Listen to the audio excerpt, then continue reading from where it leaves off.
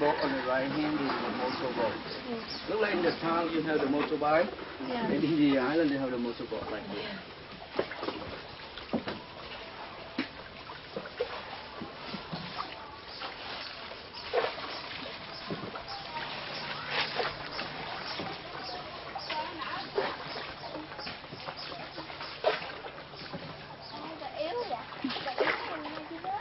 Gì?